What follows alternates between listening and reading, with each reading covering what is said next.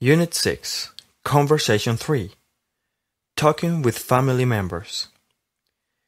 Francine takes Emily and Cheryl to play Scrabble in another room. Brittany takes advantage of her time with Julian to discuss Francine's mental and physical health. I'm sorry I didn't tell you about your mother's diagnosis. I was angry that you didn't share that information with me, but my mom says that it was her decision. Yes, she does not have signs of dementia or Alzheimer's disease, and her reasoning and logic are sound. For this reason, I have to respect her decision.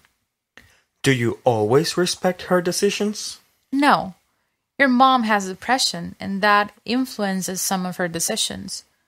Sometimes she doesn't want to get out of bed. Many days she isn't hungry, and I have to work very hard to convince her to eat some cereal or some fruit. She has she has no problems with motility. Sorry, she has no problems with mobility, but she complains about pain and tiredness when I ask her to dance with me or even to help me clean the house. My mother loved gardening in the past. Now you are the one who plants the flowers. Maybe that is an activity she should do, not you.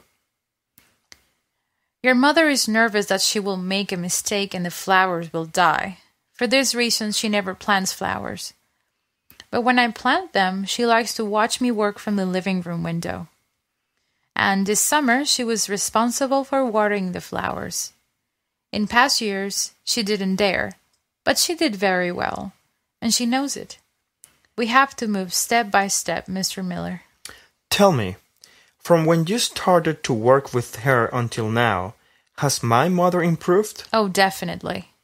She said she takes medicine for her depression. What is the name of the medicine? The doctor prescribed Prozac.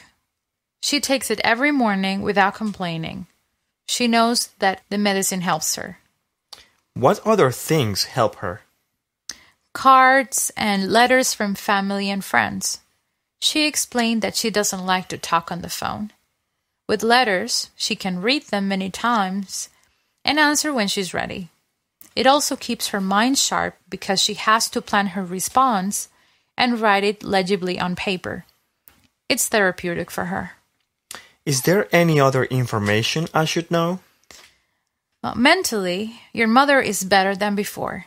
She loves doing crossword puzzles and Sudokus, and she watches many quiz shows on TV.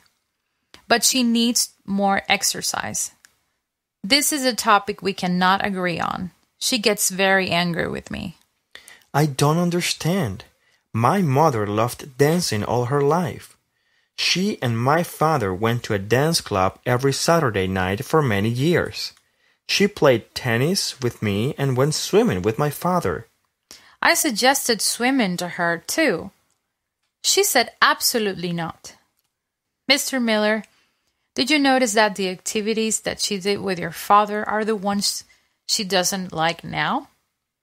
Maybe if I suggest other activities, she'll be interested. She misses him a lot. That's a great idea. Please keep me informed about her progress.